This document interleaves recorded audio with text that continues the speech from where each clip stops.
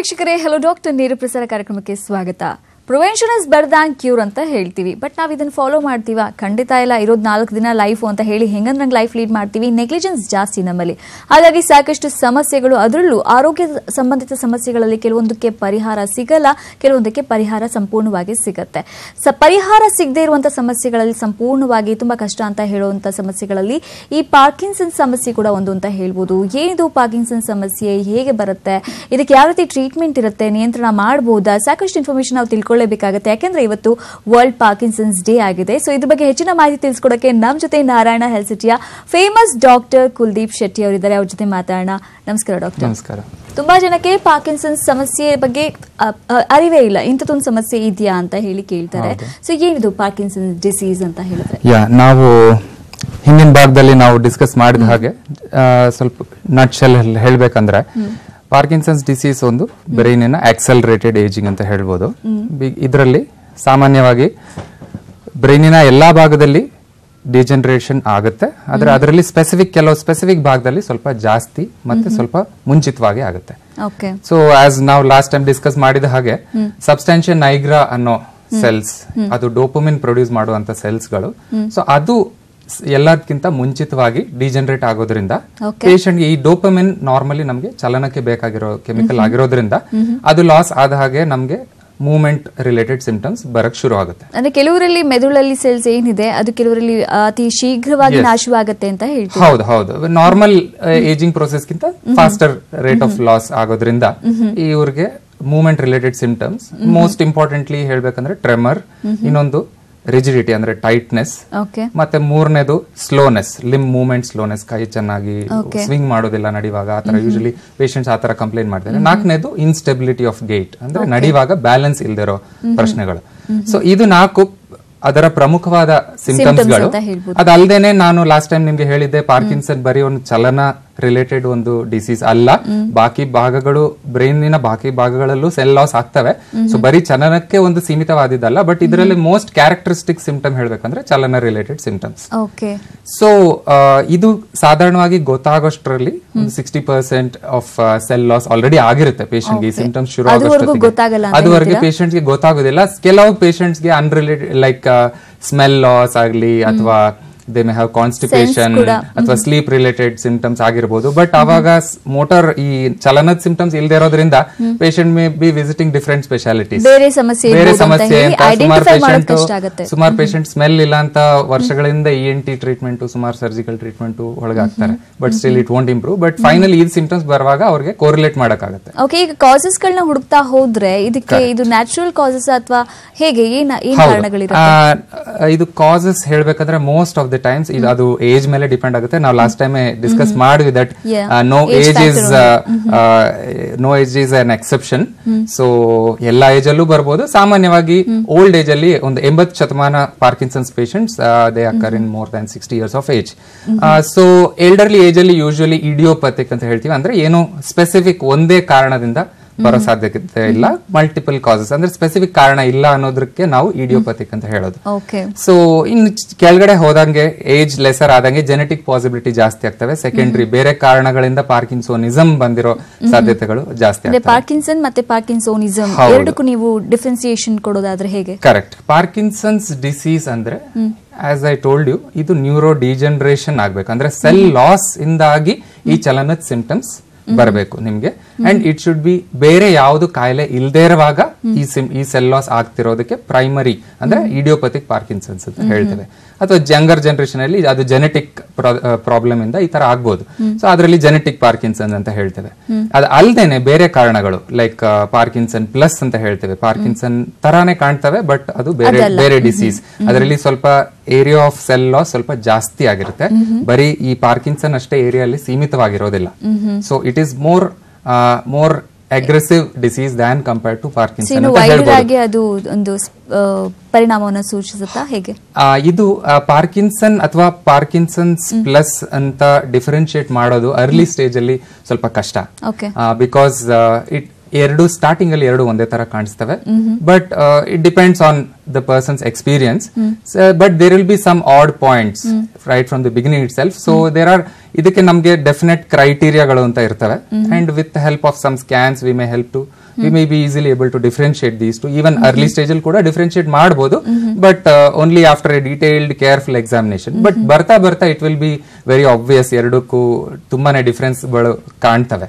ಅದರಲ್ಲಿ ನಾವು ಏನ್ ಹೇಳ್ಬೇಕಂದ್ರೆ most important point of view which is ಅದು ಟ್ರೀಟ್ಮೆಂಟ್ ರೀತಿಯಿಂದನೂ ಇಂಪಾರ್ಟೆಂಟ್ ಯಾಕಂದ್ರೆ ಪಾರ್ಕಿನ್ಸನ್ ಮತ್ತೆ ಪಾರ್ಕಿನ್ಸನ್ಸ್ ಡಿಸೀಸ್ ಹಾಗೂ ಬಾಕಿ ಡಿಸೀಸ್ಗಳು ಪಾರ್ಕಿನ್ಸೋನಿಸಮ್ ಬಾಕಿ which are not Parkinson disease ಇದಕ್ಕೆ ಮೇನ್ ಡಿಫರೆನ್ಸ್ ಇರೋದು response to treatment so Parkinson's disease ಬಗ್ಗೆ ಅದರ ಟ್ರೀಟ್ಮೆಂಟ್ ಬಗ್ಗೆ ಹೇಳ್ಬೇಕಂದ್ರೆ ಇದ್ರದ್ದು ದ ಮೋಸ್ಟ್ ಇಂಪಾರ್ಟೆಂಟ್ ಕ್ಯಾರೆಕ್ಟರ್ ಅಂತ ಹೇಳೋದಂದ್ರೆ ನಾವು ಡೋಪಮೆನ್ ಸಪ್ಲಿಮೆಂಟ್ ಮಾಡ್ತೀವಿ. ಅಂದ್ರೆ ಯಾವ ಕೆಮಿಕಲ್ ಸೆಲ್ ಸೆಲ್ ಲಾಸ್ ಇಂದ ಯಾವ ಕೆಮಿಕಲ್ ಡೆಫಿಷಿಯನ್ಸಿ ಆಗಿದೆಯೋ ಅದು ಡೋಪಮಿನ್ ಸೆಲ್ಸ್ ಡೋಪಮಿನರ್ಜಿಕ್ ಸೆಲ್ಸ್ ಕಮ್ಮಿ ಆಗಿರೋದ್ರಿಂದ ಡೋಪಮಿನ್ ಕಮ್ಮಿ ಆಗಿರುತ್ತೆ ಬ್ರೈನ್ ಅಲ್ಲಿ. ಸೊ ನಾವು ಇದ್ರದ್ದು ಸಿಂಪಲ್ ಟ್ರೀಟ್ಮೆಂಟ್ ದಟ್ ಈಸ್ ನಾವು ಡೋಪಮಿನ್ ಸಪ್ಲಿಮೆಂಟ್ ಮಾಡ್ತೀವಿ. ಜಸ್ಟ್ ಲೈಕ್ ಡಯಾಬಿಟಿಸ್ಗೆ ಇನ್ಸುಲಿನ್ ಕಮ್ಮಿ ಇರುತ್ತೆ ನಾವು ಇನ್ಸುಲಿನ್ ಸಪ್ಲಿಮೆಂಟ್ ಮಾಡ್ತೀವಿ. So the Parkinson's treatment is simple we just supplement the dopamine so ಅದು ಹಲವಾರು ಮೆಡಿಸಿನ್ಸ್ ಇದಾವೆ ಡಿಫ್ರೆಂಟ್ ಟೈಪ್ಸ್ ಆಫ್ ಮೆಡಿಸಿನ್ ಒಂದ್ಸಲ ಆ ಸೆಲ್ಗಳು ಲಾಸ್ ಆದ್ರೆ ಮತ್ತೆ ಅದನ್ನು ಕ್ರಿಯೇಟ್ ಮಾಡೋದಕ್ಕೆ ಸಾಧ್ಯತೆ ಇಲ್ಲ ಅಂತ ಹೇಳ್ತೀರಾ? ಕ್ರಿಯೇಟ್ ಮಾಡೋ ಸಾಧ್ಯತೆ ಸೇಮ್ ಜನರೇಟ್ ಮಾಡೋದು ಕಷ್ಟ ಅಂದ್ರೆ ಲಾಸ್ ಆಗದಿರೋ ತರ ಇರೋ ತರಾನು ನೋಡ್ಕೊಳ್ಳೋದು ಕಷ್ಟ.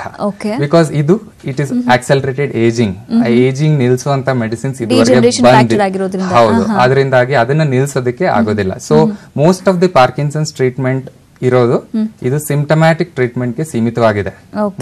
There are studies which are coming on stem cell therapy but ಅದು ಇವಾಗಲೂ ಕೂಡ ರಿಸರ್ಚ್ ಲೆವೆಲ್ ಅಲ್ಲಿ ಇದೆ.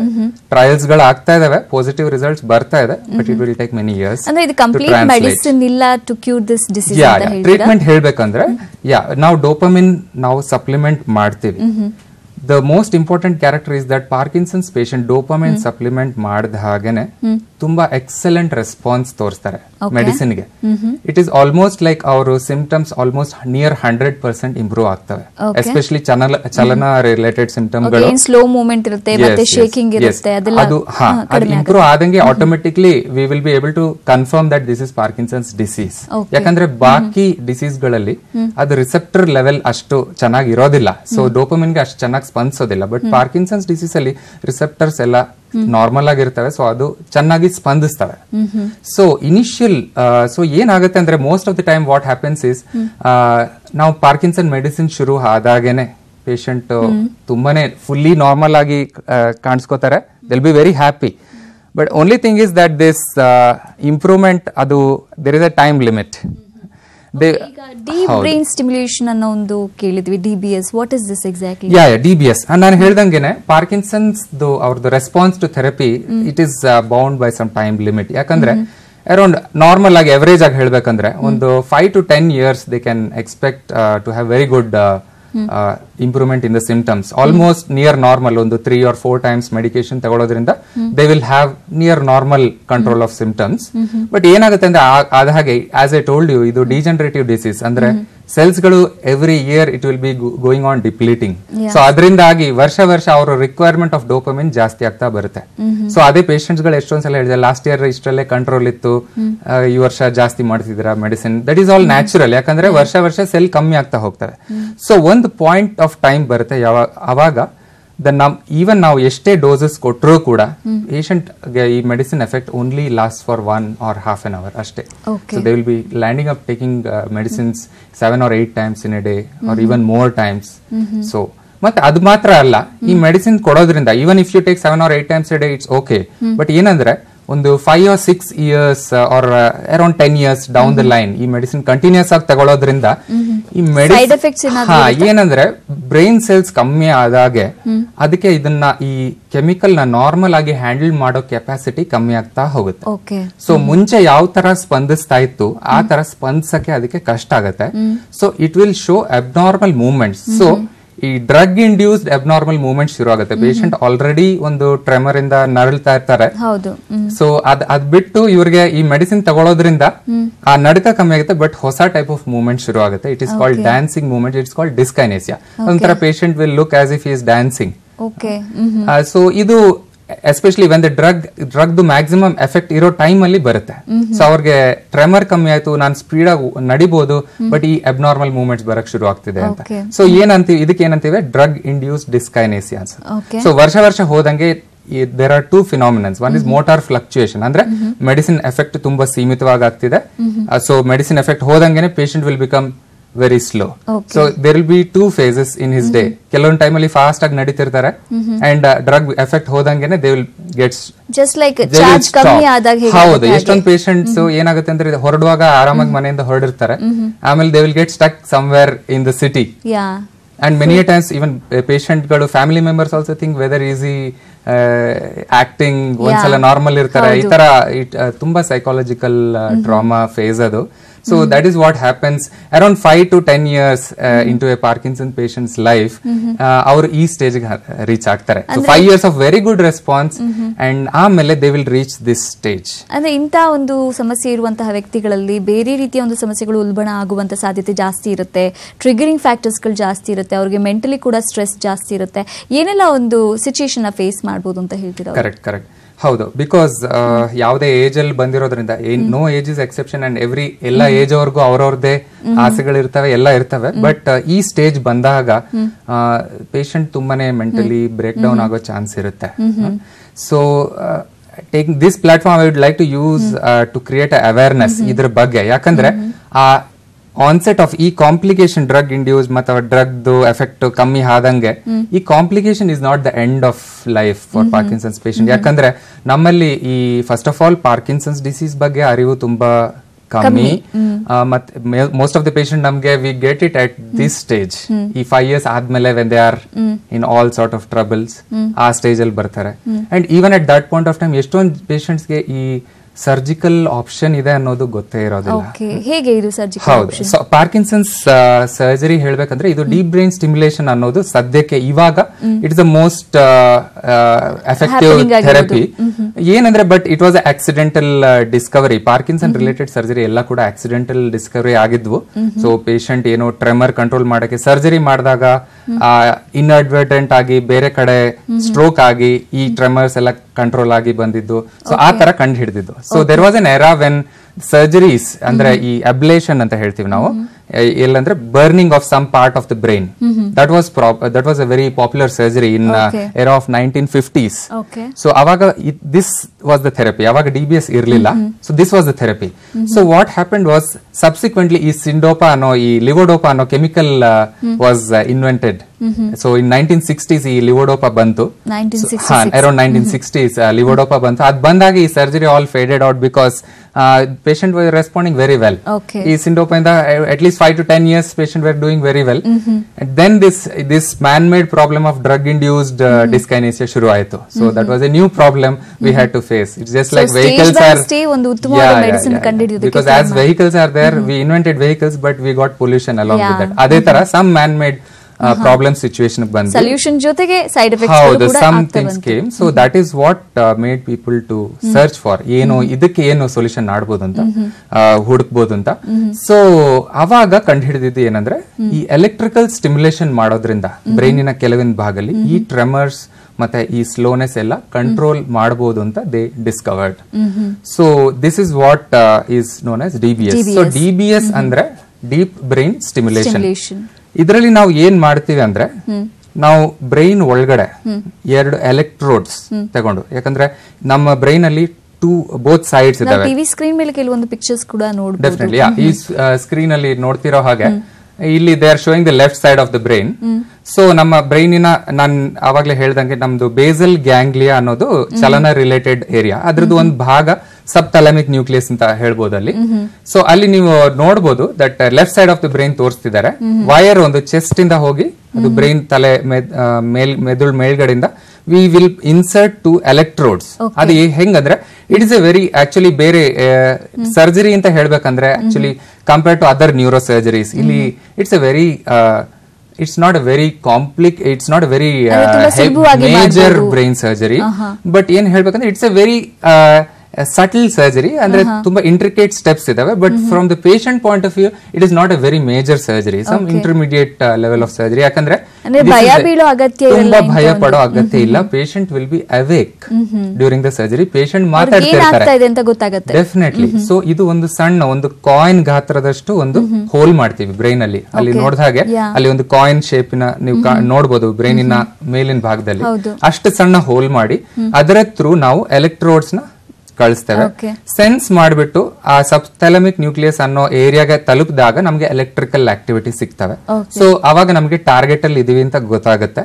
ಸೊ ಅಲ್ಲಿಗೆ ಒಂದು ಎಲೆಕ್ಟ್ರೋಡ್ ಪ್ಲೇಸ್ ಮಾಡ್ತೀವಿ. ಇಷ್ಟ ಇರೋದು ಡಿ ಬಿ ಎಸ್ ಅಂದ್ರೆ. ಸೊ ಈ ಎಲೆಕ್ಟ್ರೋಡ್ ಪ್ಲೇಸ್ ಮಾಡಿದ ಜಾಗದಿಂದ ನಾವು ಕರೆಂಟ್ ಕೊಡ್ತೇವೆ.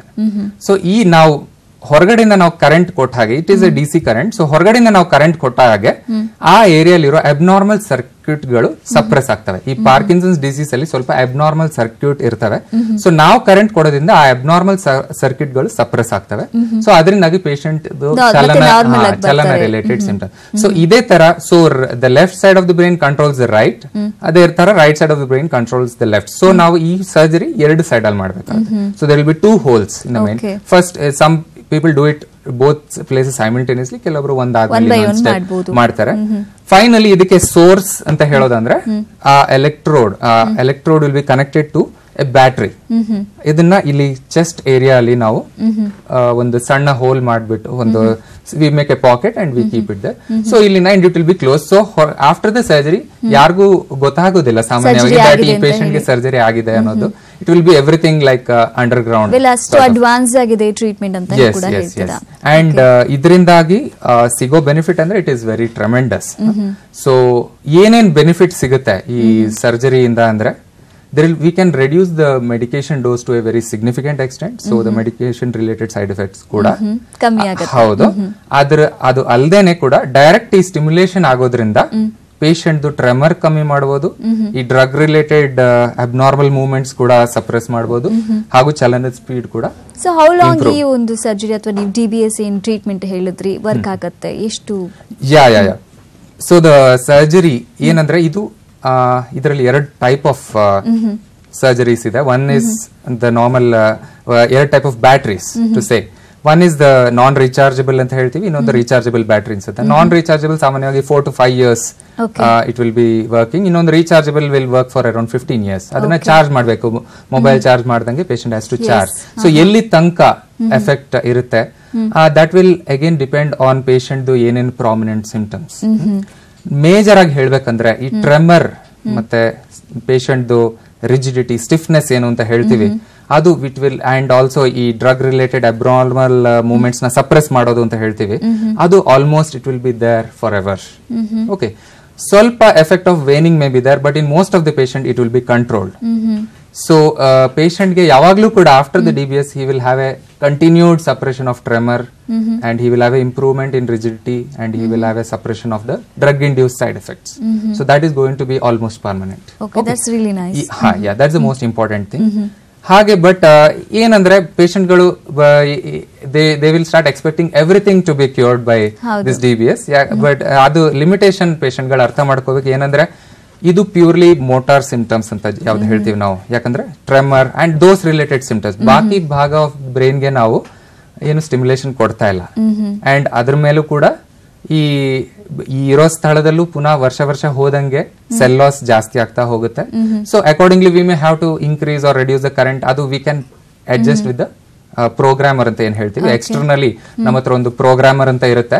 ಸೊ ಅದನ್ನ ನಾವು ಪೇಷಂಟ್ಗೆ ಪೇಷಂಟ್ ಹತ್ರ ನಿಂತ್ಕೊಂಡು we can program and increase or decrease the current accordingly ಇದನ್ನ ನೋಡ್ಬಿಟ್ಟು ಸೊ ಈ ತರ this is how D B S works so it works extremely well ಎಷ್ಟೊಂದು patients who were almost bed bound who lost their jobs because of Parkinson's disease have been going back to job in ಲೈಫೇ ಇಲ್ಲ. ನನ್ನ life. ಮುಗೀತು ಅಂತ ತುಂಬಾ ಜನ depression ಹೋಗಿರ್ತಾರೆ. ಅಂತವ್ರಿಗೆ life ಸ್ಪ್ಯಾನ್ನ ಚೆನ್ನಾಗಿ ನೋಡ್ಕೊಳ್ಳೋ ತರ ಮಾಡಬಹುದು ಅಂದ್ರೆ ಒಂದು ಹೆಲ್ದಿ ಲೈಫ್ ಸ್ಟೈಲ್ನ ಅವ್ರು ಕಂಟ್ರೋಲ್ ಮಾಡ್ಕೊಂಡು ಬಂದ್ರೆ ಅಂದ್ರೆ ಮೇಂಟೈನ್ ಮಾಡ್ಕೊಂಡು ಬಂದ್ರೆ ಈ ಸಮಸ್ಯೆ ಪರಿಣಾಮಗಳು ಅಡ್ಡ ಪರಿಣಾಮ ಏನಿದೆ ಅದನ್ನು ಕೂಡ ಅವಾಯ್ಡ್ ಮಾಡ್ಬೋದು ಅಂತ ಹೇಳ್ತೀರಾ? ಈ ಡಿ ಬಿ ಎಸ್ ಜೊತೆಗೆ. ಏನೆಲ್ಲ ಕೇರ್ ತೆಗೆದುಕೊಳ್ಬೇಕಾಗತ್ತೆ? ಹಾ ಕೇರ್ ತಗೊಳ್ಬೇಕಾಗತ್ತೆ ಅಂದ್ರೆ ಈ ಆಕ್ಚುಲಿ ಈ ಡಿ ಬಿ ಎಸ್ ಸರ್ಜರಿ ಇನ್ನೊಂದು ಮೋಸ್ಟ್ ಇಂಪಾರ್ಟೆಂಟ್ ಪಾಯಿಂಟ್ ಏನ್ ಹೇಳ್ಬೇಕಂದ್ರೆ ಎಲ್ಲ ಪಾರ್ಕಿನ್ಸನ್ ಪೇಷಂಟ್ಗೂ ಇದು ಮಾಡಬಹುದಾ ಅಂತ. ದಟ್ ಇಸ್ ಒನ್ ಕ್ವಶನ್ ಯಾರಿಗೆ ಡಿ ಬಿ ಎಸ್ ಮಾಡಬೇಕು ಯಾವ ಸ್ಟೇಜ್ ಅಲ್ಲಿ ಮಾಡಬೇಕು ಅಂತ. That is one important point because many times ನಮ್ಗೆ ಏನಾಗುತ್ತೆ ಅಂದ್ರೆ ಪೇಷಂಟ್ ತುಂಬಾನೇ ಲೇಟ್ ಸ್ಟೇಜ್ ಅಲ್ಲಿ and too much advance sixty percent cell ನಾಶ ಆಗೋರ್ಗೂ ಆ ಸಿಂಪ್ಟಮ್ ಹೇಳಿ. ಇನ್ನೊಂದು ಏನಂದ್ರೆ there is ideal time for everything so ಇವಾಗ ಏನ್ ಜಾಸ್ತಿ ರಿಸರ್ಚ್ಗಳು ಪ್ರೂವ್ ಮಾಡಿರೋದು ಏನಂದ್ರೆ any time beyond the five years or four to five years illness ಶುರು ಆದ್ಮೇಲೆ any patient is right right away he can be taken for a deep brain stimulation so. ಅದ ಅದರ ಅರ್ಥ ಏನಂದ್ರೆ ಎಲ್ಲಾ Parkinson patient at some stage of their life they are a candidate for D B S so ನಾವು patient ಬಂದಾಗ you are not a candidate for D B S ಅಂತ ಹೇಳೋದು ಅದು ಆ ಸರ್ಕ್ಯೂಮ್ಸ್ಟೆನ್ಸ್ ಮಾತ್ರ ಆಗಿರುತ್ತೆ. Had he come earlier or was he younger of had he come at younger age ಆವಾಗ we would have done now since it has full blown and ತುಂಬಾ old burn out case twenty years after the disease ಅಂತ stage ಅಲ್ಲಿ ಮಾಡಿ ಎಷ್ಟು ಸಮಯ ಅವ್ರಿಗೆ he will have the benefit ಅದು ತುಂಬಾ it will be very much limited. So there is a average age at which patient is taken for surgery ಸಾಮಾನ್ಯವಾಗಿ ಇದು five to ten years of the disease ಇದು it's a very good age to go for this surgery it will they will have a very long Relief life ಕೂಡ yeah yeah relief ತುಂಬಾ time ಸಿಗುತ್ತೆ and the success of the surgery will be very high there is no age contraindication ಅಂತ ಇಲ್ಲ. But usually beyond seventy years ಇದ್ರದ್ದು results will be not as good as in a young patient because of age related atrophy surgical technical issues but it can be done even in people beyond seventy years ಮತ್ತೆ ಇನ್ನೊಂದು ಏನೋ ತುಂಬಾನೇ psychiatric problem ಇರೋದು ಅಥವಾ ತುಂಬಾ dementia ಅಂತ ಹೇಳ್ತೀವಿ. Memory ಸಿಕ್ಕಾಪಡೆ memory loss patient is not able to manage by himself his daily activities ಅಂತ ಪೇಷಂಟ್ಗೆ ಸಾಮಾನ್ಯವಾಗಿ ಮಾಡಲ್ಲ. ಯಾಕಂದ್ರೆ ಈ ಡಿ ಬಿ ಎಸ್ ಅನ್ನೋದ್ರಿಂದ ಇಟ್ ಇಸ್ ನಾವು ಎಲೆಕ್ಟ್ರೋಡ್ ಹಾಕಿದ ತಕ್ಷಣ ಕೆಲಸ ಮುಗಿಲಿಲ್ಲ. So there are lot of precautions the patient has to take the most important ಏನಂದ್ರೆ they should not damage the hardware because ಏನೇ ಹೇಳಿದ್ರು ಕೂಡ it is all delicate machines.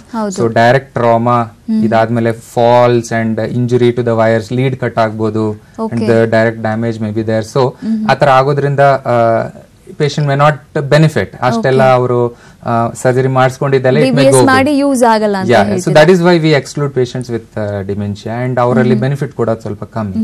So ಇದಲ್ದೇನೆ so as I told any patient of Parkinson at some point of time in is life ಅವರು D B ಗೆ eligible ಆಗಿರ್ತಾರೆ. So that awareness has to be there among all Parkinson's patient because ಎಷ್ಟೊಂದ್ ಸಲ ನಾವು ನೋಡ್ತೀವಿ ಏನಂದ್ರೆ just because of lack lack of awareness they will be missing ಹೌದು.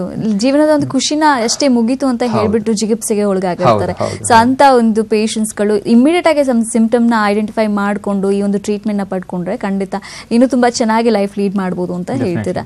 And triggering factor ಬಗ್ಗೆ ನಾವು ಮಾತಾಡಲೇಬೇಕು. ಈ ಪಾಕಿಸ್ತಾನ ಸಮಸ್ಯೆಗೆ ಯಾವೆಲ್ಲ ಒಂದು ರೀತಿಯ ಟ್ರಿಗರಿಂಗ್ ಫ್ಯಾಕ್ಟರ್ಸ್ ಇರುತ್ತೆ? ಹೇಗೆ? ಯಾ ಯಾ ಯಾ. ನಾವು ಸಾಮಾನ್ಯವಾಗಿ ಇಡಿಯೋಪತಿಕ್ ಪಾರ್ಕಿನ್ಸನ್ ಅಂದ್ರೆ ಅಂದ್ರೆ ಸಾಮಾನ್ಯವಾಗಿ ಸಾಮಾನ್ಯವಾಗಿ ಕಾಣೋ ಪಾರ್ಕಿನ್ಸನ್ಸ್ ಡಿಸೀಸ್ ಯಾವ್ದು ಹೇಳ್ತೀವಿ? ಅದಕ್ಕೆ ಎಕ್ಸಾಕ್ಟ್ ಒಂದೇ ಕಾರಣ ಅಂತ ಇಲ್ಲ. So we call it as a multi factorial disease ಸಾಮಾನ್ಯವಾಗಿ ನಾವು ನೋಡಿರೋದ್ರಿಂದ ಅಂದ್ರೆ ಸುಮಾರು ಸ್ಟಡೀಸ್ಗಳು ಮಾಡಿದಾವೆ. ಡೈರೆಕ್ಟ್ ಅಸೋಸಿಯೇಷನ್ಗಳು ಸಿಕ್ಕಿಲ್ಲ but many people many studies have told that ಸ್ವಲ್ಪ ಪೆಸ್ಟಿಸೈಡ್ಸ್ ಇನ್ಸೆಕ್ಟಿಸೈಡ್ ಎಕ್ಸ್ಪೋಜರ್ ಅಲ್ಲಿ ಸಾಲ್ವೆಂಟ್ ಎಕ್ಸ್ಪೋಜರ್ಸ್ ಇದರಲ್ಲೆಲ್ಲ ಸ್ವಲ್ಪ ಫ್ರೀಕ್ವೆನ್ಸಿ ಸ್ವಲ್ಪ ಜಾಸ್ತಿ ಆಗುತ್ತೆ ಅಂತ. It is prove but direct ಅಸೋಸಿಯೇಷನ್ಗಳಿಲ್ಲ so drug addicts ಅಂತದ್ರಲ್ಲೆಲ್ಲ. So they have found but there is no specific cause most of the times ಇದು multifactorial ಈ ಟ್ರಿಗರಿಂಗ್ ಕಾಸ್ ಇನ್ನೊಂದು ಏನಾಗುತ್ತೆ ಅಂದ್ರೆ ಎಷ್ಟೊಂದು ಪೇಷಂಟ್ಸ್ ಅಲ್ಲಿ they may be on psychiatric medicines for many other disorders psychiatric disorders ಅಂತ patient ಅಲ್ಲಿ ಅವರಿಗೆ ಆಲ್ರೆಡಿ ಒಂದು ಪಾರ್ಕಿನ್ಸನ್ ಬರೋ ಆಲ್ರೆಡಿ ಒಂದು ಪ್ರಿಡಿಸ್ಪೋಸಿಷನ್ ಇತ್ತಂದ್ರೆ ಅದು ಸ್ವಲ್ಪ ಬೇಗನೆ ಪ್ರೆಸಿಪಿಟೇಟ್ ಆಗ್ಬಿಡುತ್ತೆ ಆ ಮೆಡಿಸಿನ್ ತಗೊಳ್ಳೋದ್ರಿಂದ ಬಟ್ ಸಾಮಾನ್ಯವಾಗಿ ಸ್ಪೆಸಿಫಿಕ್ ರೀಸನ್ ಅಂತ ಇಲ್ಲ. ಅದೇ ಪಾರ್ಕಿನ್ಸನ್ ಪ್ಲಸ್ ಪ್ಲಸ್ಗೂ ಕೂಡ there is no specific reason but ಆದ್ರೆ ಅದಕ್ಕೆ ನಾವು ಹೇಳೋದು ಸೆಕೆಂಡರಿ ಪಾರ್ಕಿನ್ಸೋನಿಸಮ್ ಅಂತ. ಸುಮಾರು ಬೇರೆ ಕಾರಣಗಳಲ್ಲಿ ನಮಗೆ ಪಾರ್ಕಿನ್ಸನ್ ತರ ಸಿಂಪ್ಟಮ್ಗಳು ಬರ್ಬೋದು. ಅದಕ್ಕೆ ಸುಮಾರು ಕಾರಣಗಳಿದೆ. ಸ್ಟ್ರೋಕ್ ಆಗಿರ್ಬೋದು ಮೆಡಿಸಿನ್ಸ್ ಆಗಿರ್ಬೋದು ಇನ್ಫೆಕ್ಷನ್ಸ್ ಆಗಿರ್ಬೋದು ಸುಮಾರು ಕಾರಣಗಳು. ಬಟ್ ಅದೆಲ್ಲ ನಾನು ಅವತ್ ಪ್ರೀವಿಯಸ್ ಎಪಿಸೋಡ್ ಅಲ್ಲಿ ಹೇಳಿದಂಗೆ that is called Parkinsonism so ಇದು this is the job of the neurologist or the movement disorder specialist if available ಅವರು ಇದು ಅವ್ರ ಕೆಲಸ ದಟ್ ಅವರು ಇದು ಯಾವ ತರದಿಂದ ಅನಲೈಸ್ ಮಾಡಿ Parkinson's disease many of the time ಒಂದು correct diagnosis of Parkinson's disease ಅಥವಾ ಇದು ಪಾರ್ಕಿನ್ಸನ್ಸ್ ಡಿಸೀಸ್ ಹೌದೋ ಅಲ್ವಾ ಹೇಳೋದೇನೆ ತುಂಬಾ major important point Narayana Health ಸಿಟಿಗೆ ಬಂದ್ರೆ ಉತ್ತಮವಾದ ಟ್ರೀಟ್ಮೆಂಟ್ ಸಿಗುತ್ತೆ ಇಂತ ಒಂದು ಪೇಷಂಟ್ಸ್ ಗಳಿಗೆ ಒಂದು ಮತ್ತು ಮರುಜೀವ ಅಂತಾನೆ ಹೇಳ್ಬೋದು. ಒಂದು ಲೈಫ್ ನನ್ ಲೀಡ್ ಮಾಡೋದಕ್ಕೆ ಸಾಕಷ್ಟು ವಿಚಾರ ತಿಳಿಸ್ಕೊಟ್ಟಿದ್ದೀರಾ. ವರ್ಲ್ಡ್ ಪಾರ್ಕಿನ್ಸನ್ಸ್ ಡೇ ದಿನ. Thank you so much doctor thank you ನಮಸ್ಕಾರ. ಸೊ ಸಮಸ್ಯೆನ ಡಿಲೇ ಮಾಡಬೇಡಿ ಇನ್ ಟೈಮ್ ಟ್ರೀಟ್ಮೆಂಟ್ ತೆಗೆದುಕೊಳ್ಳಿ, ನಾರಾಯಣ ಹೆಲ್ತ್ ಸಿಟಿಗೆ ಭೇಟಿ ಕೊಡಿ ಅಂತ ಹೇಳ್ತಾ ಇವತ್ತಿನ ಸ್ಪೆಷಲ್ ನೋಡ್ತಾ ಇರಿ ನ್ಯೂಸ್ ಏಟ್ ಇನ್ ಕನ್ನಡ, ಜಾಲ ನಮ್ಮದು, ಬಲ ನಿಮ್ಮದು.